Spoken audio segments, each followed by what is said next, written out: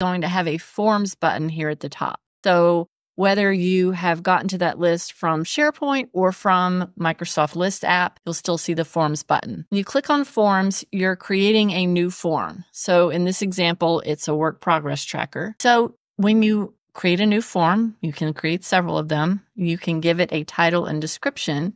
It doesn't even have to match the title and description of the form itself in SharePoint. So, what you have here is you have a lot of different fields that you can simply uncheck if you would not like them to show on the form. You can rearrange them here and uncheck boxes next to the ones that you don't want to show. On the form itself, you can see all your fields here and you can also drag them up and down on the form surface as well. I can even add new fields and you can also edit existing fields. Another thing you can do here is to create a pick a different color theme. Now, once you're ready and you want to share this form and have people start filling it out, you go to send form here and simply copy the link.